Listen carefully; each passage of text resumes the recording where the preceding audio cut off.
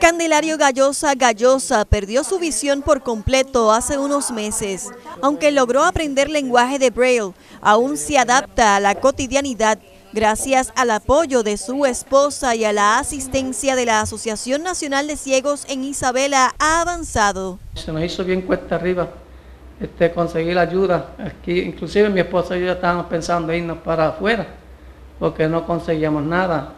Este, y pues, este, gracias a Dios que entonces ella y yo averiguando así conseguimos que aquí en Isabela existía este centro y ahí fue que nos orientamos y entonces conseguimos esta ayuda que no tuvimos que irnos afuera.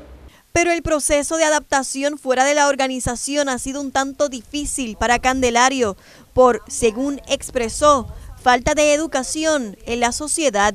Requiere más educación a la población porque las personas a veces uno pierde la visión y, te tratan diferente, te, piensan que uno pues como que no, qué sé yo, como que ya tú no, como que no funciona, no sirve.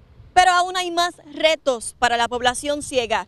Por una parte, hay sistemas de cruces que no funcionan, semáforos aún inservibles y peor aún, conductores que no respetan a los peatones. Los conductores pues también no, no respetan lo que es este, el, bastón que usamos, ¿verdad? Que tiene unos colores y, cuando me acerco a los cruces con mi esposa, este, no se detienen.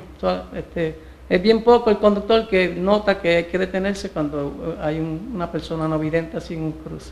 Otro obstáculo que se le ha presentado es la falta de baños familiares y la inaccesibilidad de su esposa a baños regulares para ayudarlo. Pero dichas barreras, conocidas como arquitectónicas y actitudinales, Candelario las aprende a superar con Kiara Martínez, coordinadora del programa Renacer de la entidad que fue fundada en 1999. Actualmente nosotros tenemos dos proyectos que son, son subvencionados por la Administración de Rehabilitación Vocacional eh, uno se relaciona al empleo sostenido y otro eh, que se realizan ferias de servicios a estudiantes de educación especial o de la sección 504 de la ley de rehabilitación. Y el nuevo proyecto, que es el que dirijo, que es el programa Renacer, que este proyecto, ¿verdad?, es nuestro y estamos comenzando, ¿verdad?, a buscar fondos para continuar con este proyecto que es de gran necesidad.